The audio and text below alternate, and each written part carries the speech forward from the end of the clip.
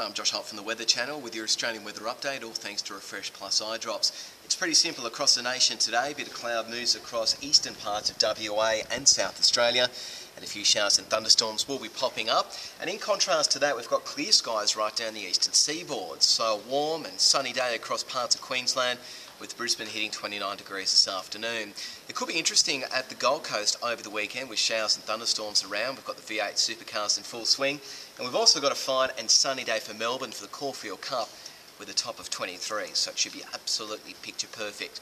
Find out what the forecast is doing for your place over the next few days, just jump onto Channel 603, the Weather Channel, on Foxtel at any time, or you can log on our website, and that's weatherchannel.com.au.